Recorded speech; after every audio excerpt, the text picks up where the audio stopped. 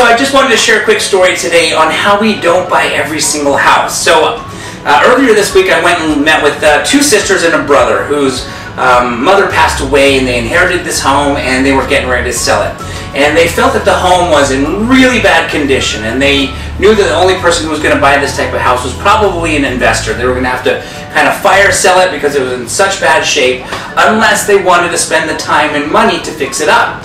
And basically, uh, I went through the home and I found that the home was actually in great shape. In my personal opinion, as I walked through the house, I was like, guys, this house is actually in really good shape. I think where you guys are making a mistake on um, this home not being as nice as you're saying it is, or you, you, you know, being not as nice as you guys think it is, is that there was a lot of clutter throughout the house. Years and years of stuff that you know, mom had accumulated before she passed away, and it was just all over the place. It was all over the place. So you walked in and it looked like it was filled with, you know, good stuff and, and basically junk, a lot of junk.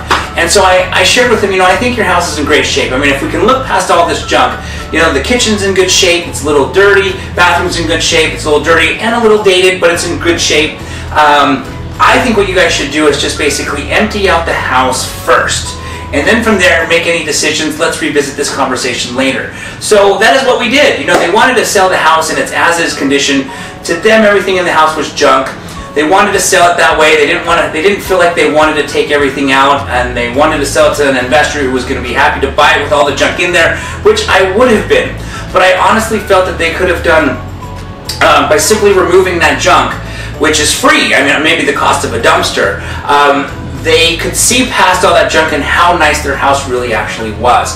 So, uh, long story short, we revisited this particular situation and they now that now that they can see that the house is in beautiful condition uh, behind all that junk you know what that junk was hiding they they now agree with me that the house is in great shape so actually what we're going to be doing is I'm going to be listing it for them uh, instead instead of buying it off of them so by listing it for them, I'm able to, by simply just kind of giving them some recommendations on a couple little things to touch up around the house, uh, small little repairs, nothing major, nothing that's going to kill the bank, but some small repairs that they're going to do in the home, we're going to be able to get them a lot more money. So by uh, just sharing some advice with them on getting rid of all of the junk, getting a dumpster there, throwing it all away, and then making some minor repairs around the house, uh, their house is going to be in great shape when it hits the market, and they're going to get a lot more money.